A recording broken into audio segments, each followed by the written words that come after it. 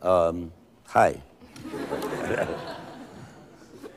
I'll tell you about a certain Dmitri Shostakovich, uh, aged 19, was just finishing conservatory. This is his Opus 10. Uh, it's a quirky piece, if you know what I mean. Is that too hard for the non-English speakers? Quirky, quirky. it's episodic. It jumps around. It's never quite sure what it's going to do, but that's part of its main quality. Uh, this unpredictability of it. Some of it is very predictable, like uh, sequences which uh, proceed like Liszt or Tchaikovsky.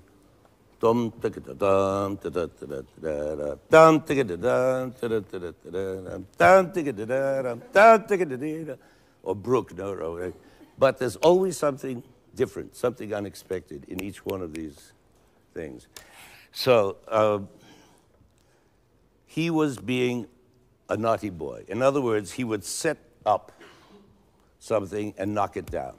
Set up a straw man, as we say in, in American idiom, only to knock it down again.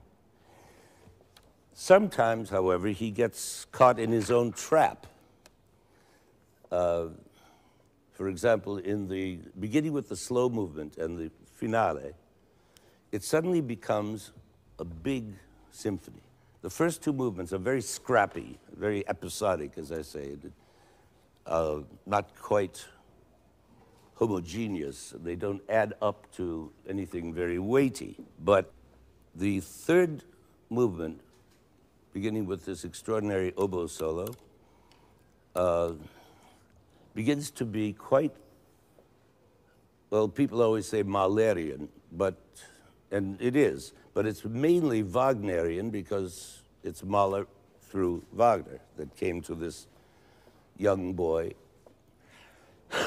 studying in Leningrad. And uh, he starts out to make fun of Wagner because it was all, that was the thing to do in those years. You just made fun of Wagner. Everybody was sick of all that heavy 19th century Strauss, Wagner, and Mahler. And so the trick was to be French oriented more in the 20s. But in the course of writing all this, these takeoffs of Wagner, including direct quotes from Der Ring, des Nibelungen and the fate motif and Erde motif and lots of Tristan quotes. In spite of making fun of all this, he gets trapped in it and he becomes in love with it. And little by little, it becomes so beautiful because this combination of sweet and bitter, of love and hate, of whatever you want to uh, call it, suddenly works.